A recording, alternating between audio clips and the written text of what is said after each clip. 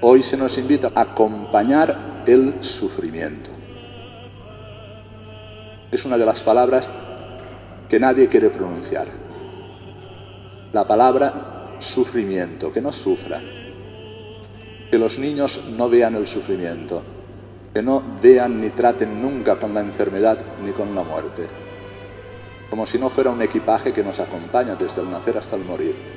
Pero nuestra cultura huye de esta palabra y de la realidad que entraña el sufrimiento. En cambio, aquí hay una profecía que es desvelada en su plenitud en Jesucristo, pero que nos afecta a nosotros. Nos afecta a nosotros porque nosotros hemos sido incorporados a Jesucristo por el bautismo.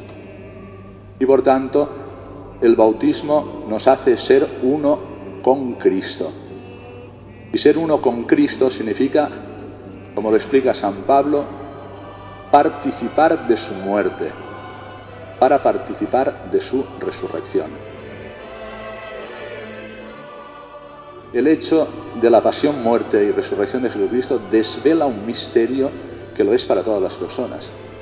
Desvela el misterio del sufrimiento humano, de todo lo que nos pueda ocurrir en nuestra vida y también de la enfermedad y también de la muerte.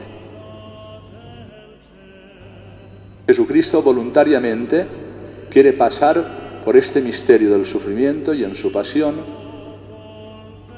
que no es más que una evidencia del amor que nos tiene, por ese tránsito de la pasión, lograr a la plenitud de lo humano en la resurrección. Para nosotros el sufrimiento, si somos uno con Cristo, significa participar en su Pascua,